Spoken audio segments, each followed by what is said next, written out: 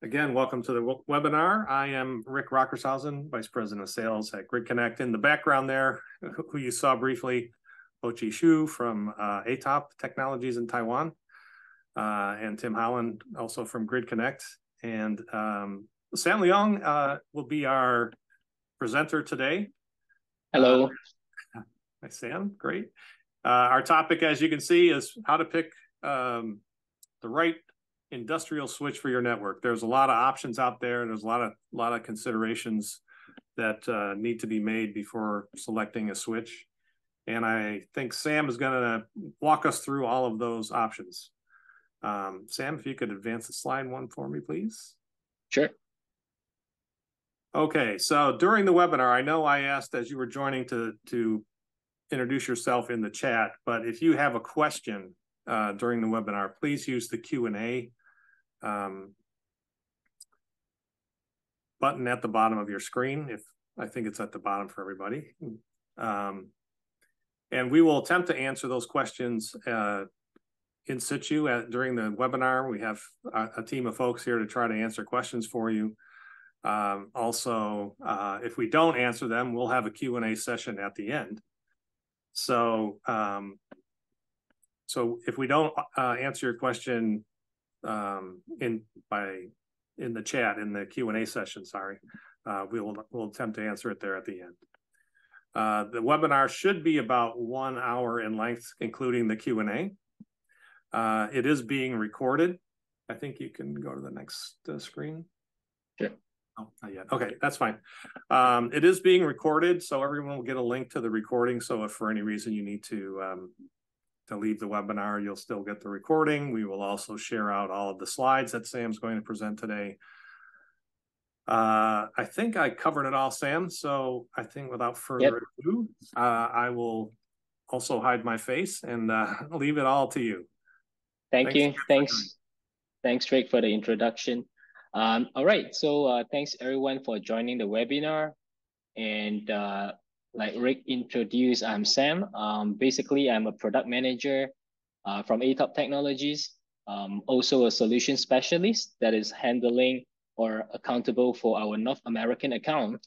And on the webinar, we also have uh, Pochi, also from ATOP. He's our senior product manager from uh, for all our switches lineups. So um, both of us are based in Taiwan, um, for me specifically, I travel back and forth the US and Taiwan. Uh, ATOP Technologies itself uh, is a company from Taiwan.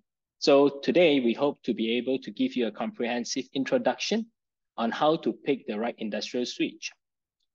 So without further ado, I just want to take a couple minutes to talk about ATOP Technologies, our expertise, and our experience so that uh, whatever we uh, share from you is based on our experience and what we have observed uh, on the industrial space over the decades. So um, basically, ATOP Technologies, we have three business units, industrial networking, pick to light, which is the logistic handling, material handling, and contract manufacturing. But today we're only going to focus on industrial networking. So basically, um, all the uh, industrial networking product, we design them and we manufacture them. We have been doing it over 34 years and we have case studies over the globe. Um, and then we design them in Taiwan and we also manufacture them. Of course, when we talk about industrial networkings, uh, some of them could be very critical infrastructures that we are uh, deploying our devices into. So uh, they have to be compliant and, that, and they have to be tested. So uh, this is just a slide to talk about our uh, regional offices. And we have clients in respective regions. So uh, I think I will just uh, summarize this marketing slide in few sentences. If there are some things that we pride ourselves on, um, I would think that it would be our ability to uh, respond quickly, agility in our customer service, and also uh, in the industrial space, there are a lot of times um, you need some customization, especially when uh, some of our clients, they are working on project basis. So uh, we pride ourselves on our engineering expertise to be able to deliver some of the unique features for certain uh, applications. And these are the, oh, I, I think I skipped the last. So these are the uh, industrial networking solutions that we manufacture. If you look at the subtitle, uh, the industrial networking solutions could be applied to small projects all the way to big projects. You can talk about like one switch, two switches, all the way up to hundreds of switches and then thousands of switches. So that is where our uh, network management system uh, that comes in. So basically, it will be very important if you're working on a big project. You need a software to be able to manage your networking product and devices uh, to do troubleshooting, etc. So the uh, we do networking switches, we do wireless, wired, position timing, etc. But today, since we are focusing on the network switch, uh, I just want to give you some introduction on uh, what are the uh, managed switches um, uh, switches out there. It has a, a managed switches, managed switch, and then you have a different combination because eventually cost or budget is very important in the product. Sometimes you need to use uh, entry level switches, and then the you when when you are aggregating more data, you need gigabit switches in some of the smart cities project, or even in the machineries as your core switch. And then you also have different switch that is needed for respective vertical market. They have to be certified, etc. So these are how the devices look like, the devices that we manufacture. I just want to show you real quick. I'm not going to dive in. So this is the 4G, 5G solutions that is used in the industrial space. And of course, they also have to work on or support uh, industrial protocol. Modbus is the big one in the US. And then 61850 could be the, uh, because right now the USA is talking about retrofitting or standardizing the substation protocol. So 61850 could be one of them. So some of the applications that you need to, uh, that our uh, device has been deployed to uh, substation, smart grid, automation, smart city, railway, marine, oil and gas. And uh, okay, I, my introduction took a little bit too long, but uh, right now, let's dive in on some of our uh, most important agenda. So first, I would like to introduce what is the difference between industrial and commercial grade.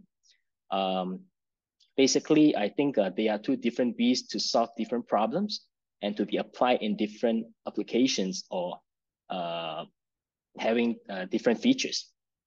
And then next, we are going to talk about how to pick right pick the right industrial switch. And in this presentation, I also hope that I will be able to, I will uh, cover some of the level layer two switches and then layer three switches, what are their functionalities, when to use which one of them, and then just go over some of our ATOP offerings real quick. And then we will talk, uh, go to Q&A. But uh, speaking of Q&A, if there's any question like what Rick said just now, if you have any question, you can just uh, shoot questions into the Q&A uh, box. All right, industrial and commercial grade. So um, I think when we took tech, uh, take a look at substation, railway, oil and gas, the common denominator is that the, it is going to be very hot in the operating environment. So this slide is just to uh, illustrate how hot does it get. Like on a sunny morning or afternoon in Taiwan, this is about 92 degree Fahrenheit. If you're a dad or parents, you will be able to relate. If your baby gets a fever, it's about 104 degree Fahrenheit. And warm milk, 158. And this one, last one here is a coffee served hot from the Starbucks. It's about 185 degree Fahrenheit. And one uh, very important features on the industrial product is that it is able to work reliably in harsh environment. So basically, it is going to be able to, uh, are some of the tests that it will be done is uh, IEC 6, 61000, uh, test level three or higher. There are a couple levels, but what it means is that test level three is that um, it will test the EMC, electromagnetic compatibility, surge protection, electrostatic discharge, etc. and then the temperature that we talk about. Uh, this is just a common guidance. Of course, with different switches, sometimes they will have different range. So this is negative uh, 43 degree Fahrenheit up to 185 degree Fahrenheit. And we also talk about the reliability. So in some of the use case, um, the redundant features could be very important. For example, uh, they have a dual power supply design because a downtime in the industrial operating environment, or uh, sometimes you call it operation techno uh, technology, OT, it is uh, very expensive, the downtime. So some of the products, it will have a dual power supply design. When one goes down, another one will come back up. And also fanless design. Uh, this is to ensure that the device itself will have a long lifespan. If it is using a fan design to uh, dissipate the heat, it will have a very short uh, lifespan in a way where um, when it is running, it will introduce or bring in a lot of dust that uh, cuts down the lifespan drastically. Okay, um, in the OT space, uh, operation technology space, the maintenance and cybersecurity could be another features that you need to start to look at. Um, for um, some of the industrial products, or at least uh, ATOP, we have five-year warranty. And most importantly, the product cycle is a 10-year product, uh, 10-year product cycle. So we have some clients, uh, before they buy the device, they will always ask, how long can your uh, product last? And then what will you do? Uh, do you just call it an EOL? There's no replacement. And then, the, you know, it is a problem. So this is something that you need to bear in mind when you want to implement a project. And then uh, built-in software safety feature, because of the uh, hacking incident has been going more and more. I saw a Q&A uh, Yes. Uh, hi, Kashif. Uh, we have this, but I think uh, we can answer at the end of the Q&A. Thank you for your question. We, we do have that. And later we're going to show you the uh, switches in our portfolio. And then the, okay, how do I this? All right, uh, and then built-in software features, we talk about uh, the cybersecurity is a concern. So right now, um, the industry is talking about the uh, uh, SOP, where from the manufacturing process, the design process, you need, you need to be compliant or certified on the group level and on the product level. So there is a certification. You are going to hear more and more about 62443. So this has a different parts. Uh, for example, it has different stakeholders like uh, the dash four is the one for the uh, equipment vendors that you buy from. So if you buy from a vendor that is certified with 62443, that means their devices, uh, or sorry, their group level or their company, their manufacturing processes are being uh, certified and being checked that is compliant. And they also have other parts that talk about the uh, product specific safety features that is um, suitable use for certain applications. All right, certification and tests. Um, so we talk about industrial grade. Of course, uh, these are the other concerns that will come in in the environment where there will be a lot of uh, shock or uh, interference, etc. So surge protection is another one. ESD protection, shock protection. You can look at the class. Usually they are class higher than the commercial product. Okay, um, right, let's go to how to pick the right industrial switch. So um, these are some of the uh, deciding factors when you want to pick the right industrial switch. Uh, you want to pick like uh, what is the type of the switch that you want? What is their applications like? Are you going to use unmanaged, uh, like manage or manage? So usually more features doesn't mean it is good because it comes with a price and uh, what is the network speed and port density that you will need. So these are important uh, during your planning stage, you need to decide because eventually like five years down the road, you might want to upgrade. Uh, you, might, you might have more devices coming in. For example, you have, if you are in a factory, uh, you have more machines, you know, if you don't have enough port right from the start, how, how are you going to uh, uh, handle the upgrade, things like that. And then scalability, uh, how many sites do you have? Do you just have one site or do you have multiple sites? So you need some certain features that enable you to connect your devices from afar, things like that. And PoE capabilities. Um, so basically, um, I will talk about it later, but uh, in a layman term, um, so basically the switch is able to power some of the uh, device like CCTV or a router, things like that. So that will save you uh, some maintenance cost. And uh, how many switch do you have? How do you uh, manage them? So uh, does the device that you buy from, do they offer management tool? And then uh, how do you do the upgrade? And then what's your budget? Also, are you doing a new project or uh, are you just upgrading from an existing project? Because eventually, if there are existing devices, compatibility could be an issue. What are the redundancy ring that is being run previously? And then right now you want to buy new devices. Uh, so you need to see if the new device can support their ring. Because some of the uh, brand that we know, they run proprietary ring. So if you buy other brands, then that could be a concern. And uh, vendor support and documentations. So we talk about different type of switch. Um, some of the switch, their configuration is easy. Some of them are plug and play. Some of them could be more sophisticated than others. So documentation and vendor support becomes very important when you face any issues. And also, if you have decided your switch already, you want to do a test and do a pilot run, view your vendor uh, be there to support you? That is another thing that you need to take a look at. Uh, uh, yep, uh, Kasif, we do have a modular switch, but not all switch are modular. So I am I, I can show you later how does a modular switch look like. Yeah, I think yeah. All right, so uh, let's get back to the presentation. Like uh, the um, uh, what are the types of switches? Basically, we will um, divide them into three categories, a managed switch, light managed, and managed switch. These are the three bigger categories. The unmanaged switch, um, I think is quite self-explanatory. Some people also call them dumb switch. So basically they just do a basic data switching, plug and play, no configuration required.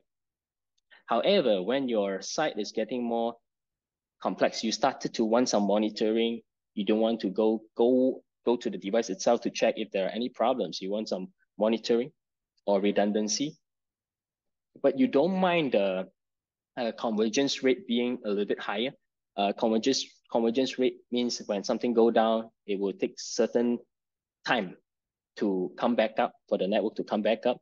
Uh, RSTP ring supported device could be something that you can look at uh, with the two, 300 milliseconds uh, convergence rate and then it also support SNMP, enables you to do some uh, monitoring and so also logs to see what happened and a simple GUI. Um, and then we have uh, managed switches. As you look at, uh, we talk about some of the uh, deciding factor, right? The, the scale and then how criti critical is your network.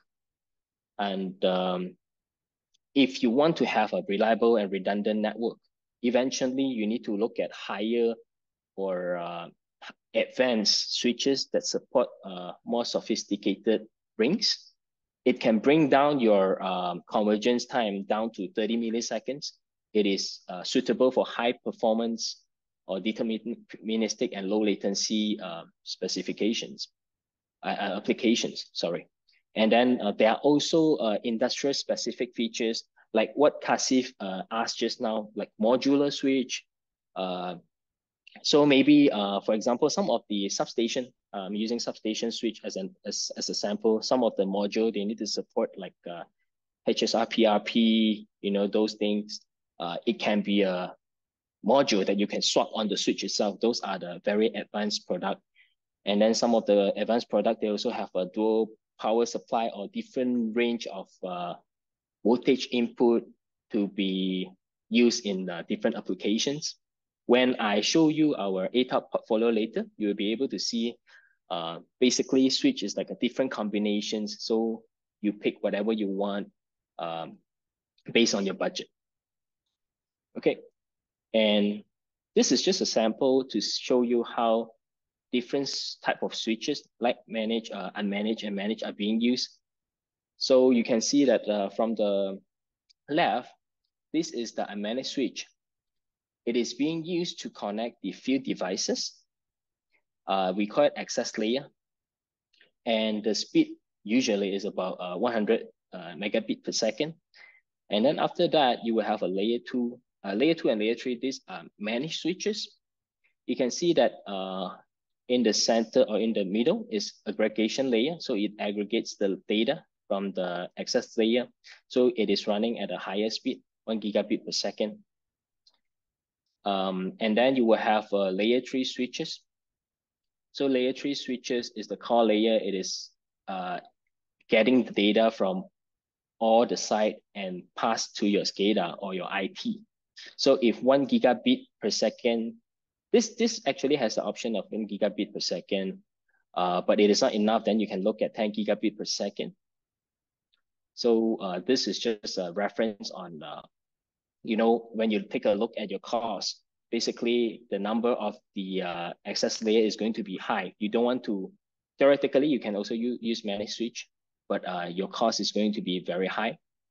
And then the another things that you can take a look at is that on the access layer, the this is our eight ports managed switch. And then the, this is our eight port layer two switch. And this one on the core layer, this is a 28 ports. So basically the uh, port density at the layer three will be higher. And this layer two and layer three, it will support much more features uh, than the unmanaged switch. And so layer two and layer three, they can run some redundancy ring. Uh, they have uh, different types of monitoring features, cybersecurity features, so on and so forth. And if you see, take a look at this, the center here, the blue line, uh, these are the SFP that I um, that is being used. Uh, that brings me to my next slide. So it enables the long distance transmission. If you're uh, you have two sites, uh, they are very far from one another. So basically, you can use a SFP to enable this long distance transmission. It connect your switches at a greater distance with fiber optic the reason fiber optic is being used is that it is free from EMI compared to copper. So um, it actually can connect uh, 550 meter all the way up to 80 kilometer with this SFP port. So you need to, if you have these requirements, you need to start to take a look at the switch that is with uh, that comes with an SFP port. Of course, they will be a little bit more expensive, and you also need to buy this, uh, what we call a transceiver to plug in the SFP port. And then the on the cable side, it will have, uh, you have the options to choose LC, SC, and ST. These are the one that is commonly being used. And what are the deciding factors uh, on your SFP uh, transceiver?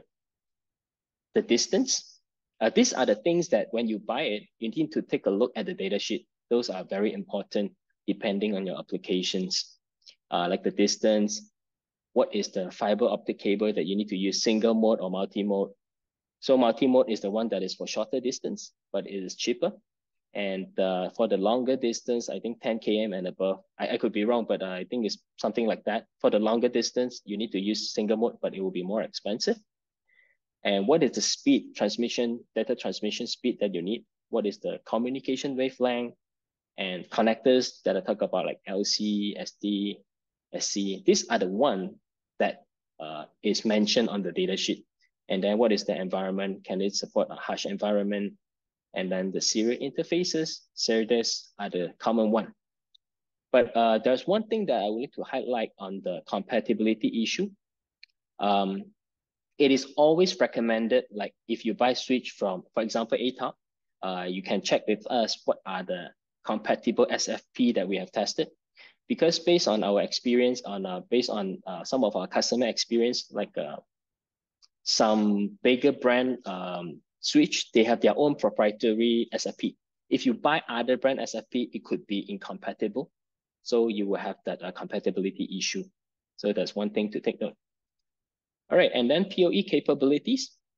So when you want to buy a switch, uh, what uh, some sometimes some PO, uh, some switch it comes with a PoE.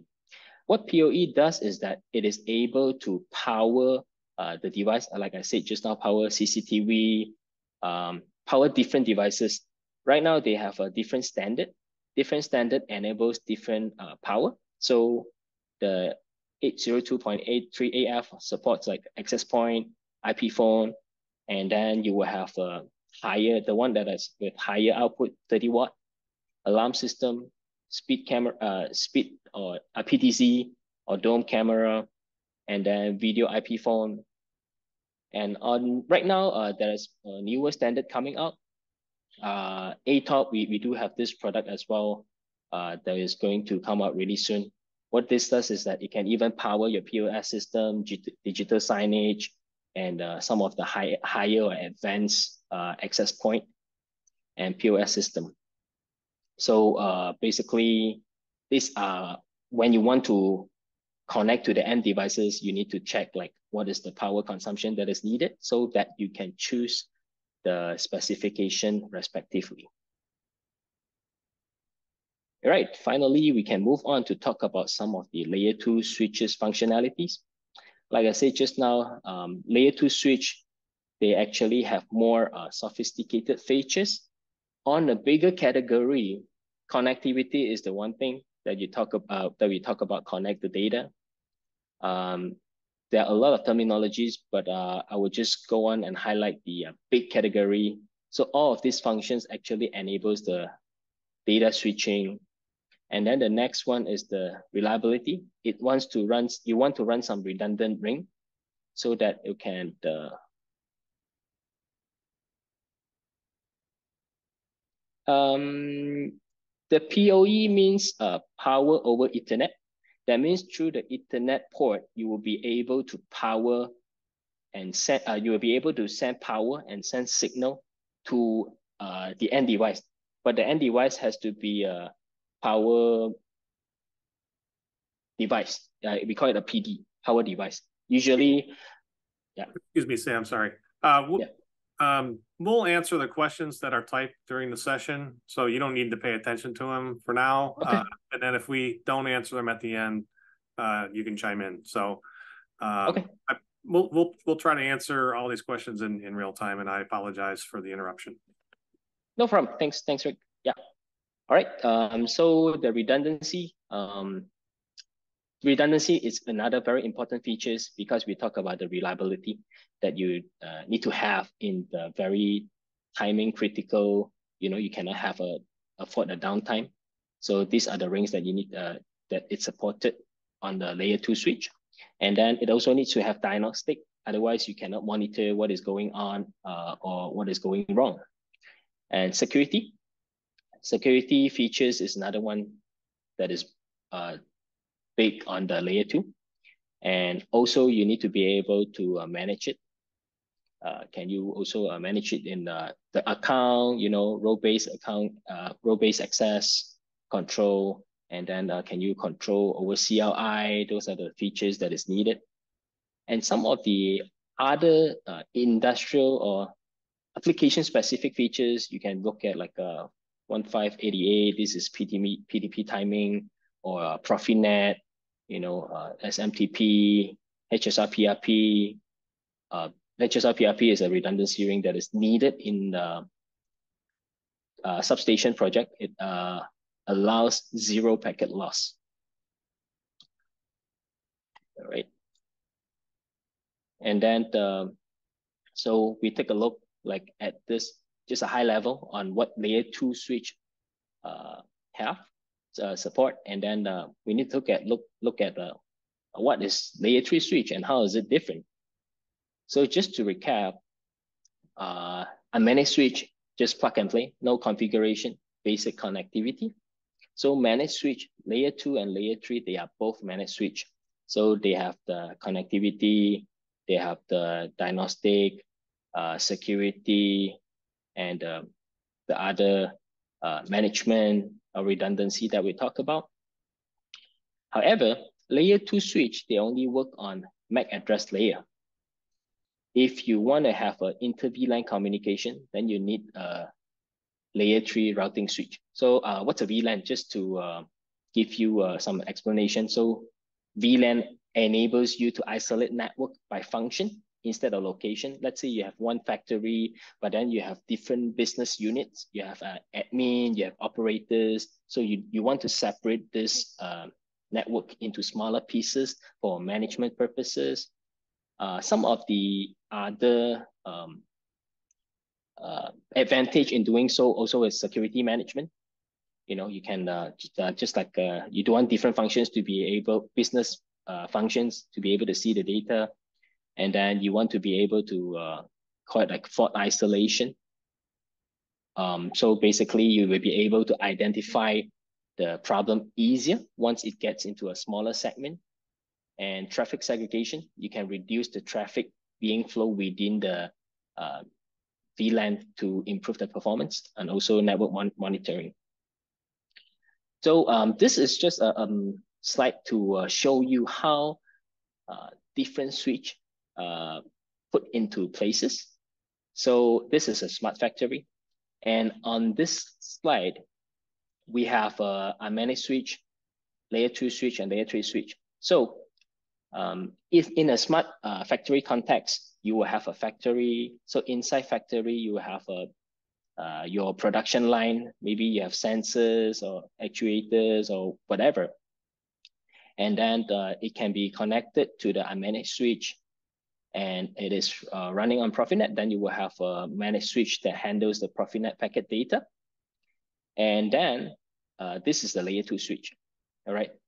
And because right now your scalability is getting a little bit bigger, you have different sites. So you also need the layer three switch to be able to do the inter-VLAN that I talked about just now. So uh, right now you have this rack mount switches, 28 ports, that is the core layer that is connected to your warehouse. So in your warehouse, you could have some AGV that is running on, then you can, of course, you might also have a IP cam, etc. And right now, um, there's also office building for your admin, right? Uh, then you can have a, another layer three switch to bring all of this uh, connection together and they can, they can run a redundant ring. Um, currently COVID hits and then uh, there will be some people that, that is working from home, etc. So they want to access your network within this space. So what are they going to do? They are going to be uh, using a um, VPN tunnel to connect back to your VPN server to access all this data. So you can see that uh, from a smaller context, you don't really need a layer three switch. But as it gets bigger, uh, then you need to plan to use a layer three switch because uh, the benefits of layer three switch is highlighted in my next slide. So uh, layer two switch is uh, using uh, routing using MAC but layer three enables you uh, with IP addresses. It can aggregate um, network from different subnets. It can enable like multiple broadcast domain. So you can see that layer three is something that uh, work on a higher scale, on bigger scale. However, there's also a comparison that is often being done between layer three. Should I use a layer three or should I use a router? So uh, layer three because it needs to connect cable, right? So it is being used uh, by a LAN connections most of the time. Routers where, uh, on the other hand, is suitable used on the uh, wide area network connections. Um, the benefits of using layer three is that uh, it is a hardware-based uh, forwarding decision, so it is faster. Uh, router, on the other hand, is software but router sometimes um, you can see that uh, layer three actually has some some sort of uh, router functions within it.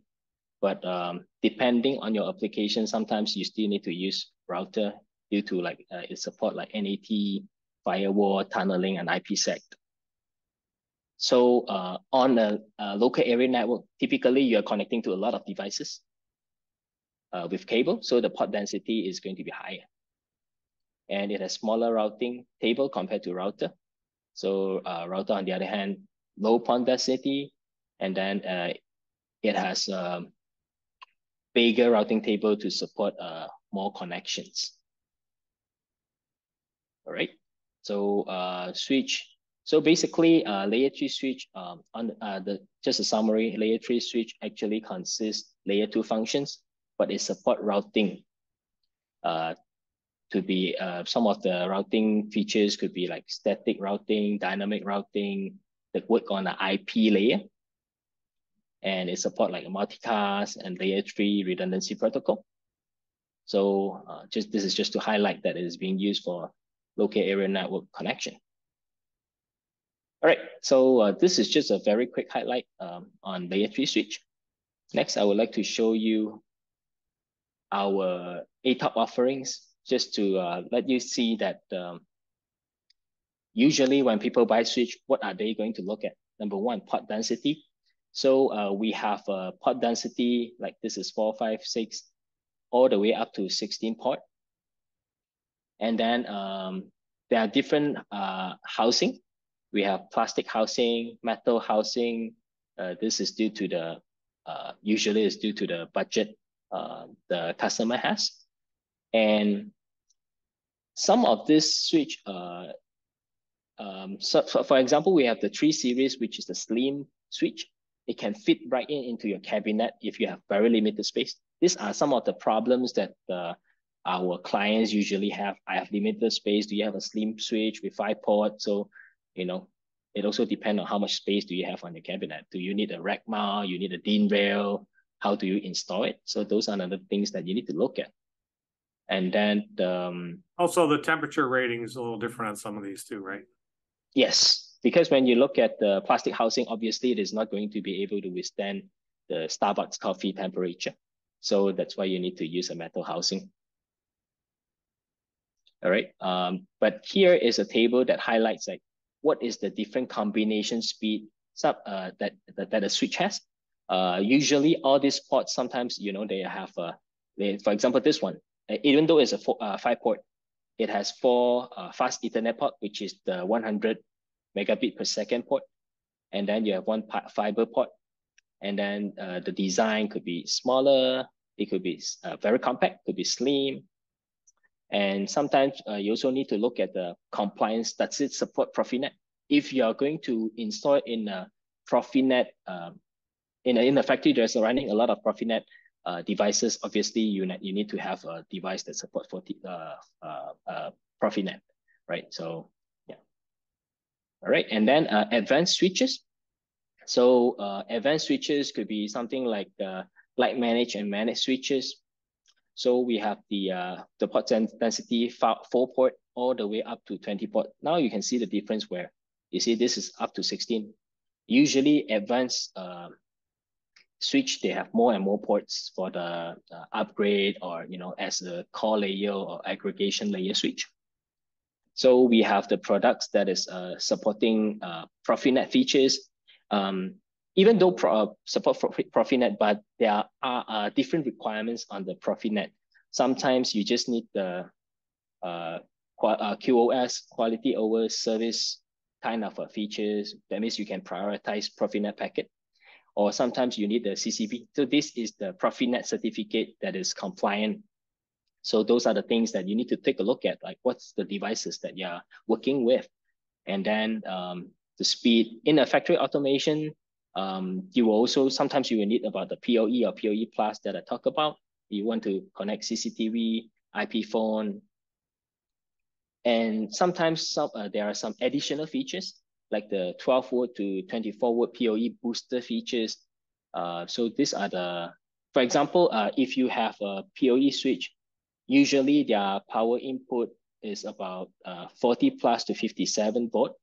But with the PoE uh, booster, then um, this is the power input, but it has a capability to bring up your power to power the devices. And then manage switch, switch for uh, smart cities. In the smart cities applications, you will have uh, different requirements. Other than the port density, you need to take a look at, um, of course, the speed is one thing, right? In a smart city, you will started to have like a, a device that is being uh, uh, far from one another, could be in the KMs or you know 50 km, etc. Then you need a fiber SFP port uh, and then the PoE ports because you need to power different devices. Uh, CCTV could be a lot. Um, I think uh, in the past uh, on the tunnel projects that we work with, there are uh, a lot of requirements on PoE switch. And also some applications need you to have uh, NEA, NEMA TS2 certificate. Uh, so these are the certificate for uh, traffic control, traffic lights, uh, emergency road signs, uh, walk or don't walk signs, things like that.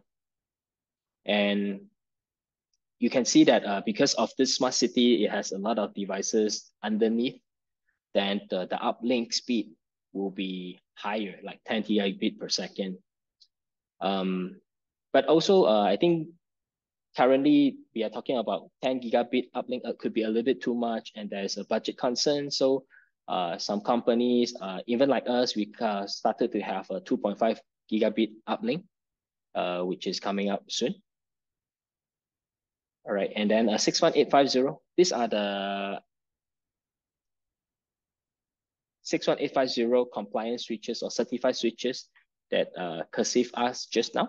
So these are our switches within this line um, that is being uh, that's able to use in these uh, applications. So you can see that there's a PTP, TC, PTP, BC. These are the um, timing, uh, transparent clock and boundary clock because um, I also talk about HSR and PRP when I talk about substation applications. So all of this are, oh, so it's here, sorry. So it's here. So basically, these are the one that enables zero packet loss.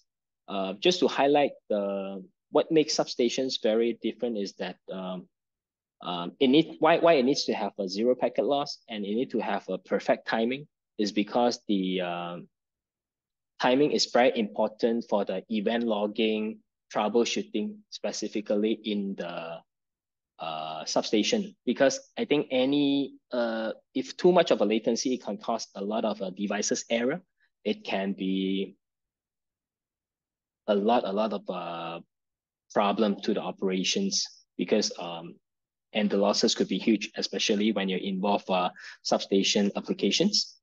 And then the power input, you can see that uh, usually the substation switches, they will have different range of uh, power input, VDC, VAC, and things like that. Some, some of them even need like a PoE. So these are the one that we have. And we have a layer two switch, layer three switch, and with different speed.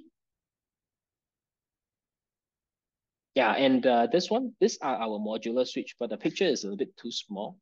But if you uh, take a look closer, there is four compartments here. So uh, some of them can be swapped out and swapped into another module that you want. So basically our module, we sell them as an accessories, you know, like a Lego, you can uh, buy and then put it in for different uh, functions that you, uh, you're looking at. And uh, this is the oil and gas. So oil and gas has a requirement where you need to have a ATEX uh, certified, or sometimes you also need to uh, be compliant to, to certain ATEX certification because um, it is being used in an explosive environment. So they uh, they have a different certificate or different class that they need, they need to be compliant. And some of them also need to use an IP67 switch. So we have a unmanaged uh, five port and then the, all the way up to seven port and managed switch and layer three switch. So when you look at a IP67 switch, uh, this is how it looks like with the M12 connector. So like the ATEX, so railway also could use some of this um, IP67 switches. And the certification, you look at, when you look at this, it's going to be a lot of different numbers, different uh, wordings, but uh, if you look at the project requirement, usually it will tell you uh, what are the things that they need to look at. So then you will go to the vendor's uh, data sheet or crawl their website to see if they have a application specific um, product. So uh, like I just put together, um, just put together layer two, layer two switches. So you can uh, see that uh, smart grid needs like a different type of switches, And then the automation, you have different type of switches at different speed. So these are our product offerings. Of course, some of them, uh, they can be used in one, uh, uh, they can be, they can be used in multiple uh, uh, vertical markets like this, uh, RSG 7528, RSG 7528. So, yep. All right, Q&A. I'm 45 minutes into the presentation. I hope we have enough time for Q&A. Wow, that was right on about that. Uh, I, will just make a couple comments um, for folks here. I, I know Bob uh, from Midland, um, Bob Merrill, asked, uh, wanted to know when to use managed versus non-managed switches for their machines. Um, and I would say that uh, there, there's a saying that uh, I've heard in some of the seminars that we do on Profinet, and that is if uh, you know you can um, use a non-managed switch, but you will wish you use a managed switch because it gives you the flexibility and also an important uh, thing is troubleshooting. So with a managed switch, you can set up a mirror port and do things like Wireshark and other things like that uh, to troubleshoot your networks. Uh, with just a unmanaged switch, there's no way to mirror the traffic so you can figure out what's going on. Um, so that's to me one important thing. And then the other the other one I think is something Sam touched on uh, about uh, SNMP, Simple Network Management Protocol, the ability to gather information from the switch about link loads and and things like that to know um, you know is the is the network overloaded on certain certain links and do we need to redesign or move things around in order to do that? So uh, to me those are the big advantages of managed in, in an industrial uh, kind of environment.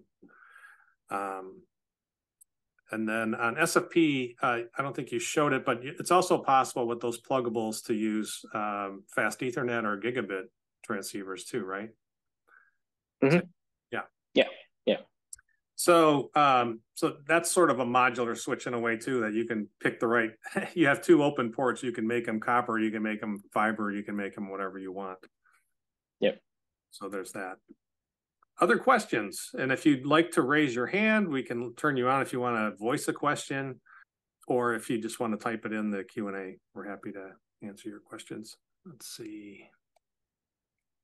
Does your switch have VPN functions? Can the switches be monitored through your cloud and dashboard? Mm, so, so far, I don't think our switch has any uh, VPN functions. We only have them at our routers or on Router the level. 4G, 5G gateways. Uh, but your next question is that can the switch be monitored through the cloud and dashboard? Yeah, we do have our network management tool. Yeah. So you can uh, monitor definitely monitor it so that it's on the management level of uh, configuration. Uh, it will be easier for the management perspective, maintenance perspective. Right. Yeah. Yeah. The yeah the the management software is really important, especially for larger um, installations. So you, yeah, you can keep track of uh, you know even firmware levels of the devices if you need to push new firmware and uh, of the switches. I mean, you know, so um, and, and and do all get all the diagnostic information like Sam was talking about. Uh, so Gary is saying in the chat that uh, the the switches will pass VPN uh, traffic. Um, the router, you know, initiates the VPN tunnel, but once it gets into the local network, of course, yeah, you're in. So the VPN is sort of outside of the scope of the industrial network itself. Other questions? Okay, another question from Ahmad. Is it possible to have two routers connected to the switches simultaneously? I think the answer is yes, but I think then why do we have to have two router? I think it depends on what are you trying to build. Right. What what is the network architecture you're going for there? Because normally, yeah. yeah, normally you just need one router, right? Because you just want to go go outside of the network. Right. And, uh, exactly. Yeah. So maybe there's two separate routing environments or something, but it would be possible. Multiple subnets. Yeah. Bye bye. Thank you, everyone. Keep in touch. Bye bye.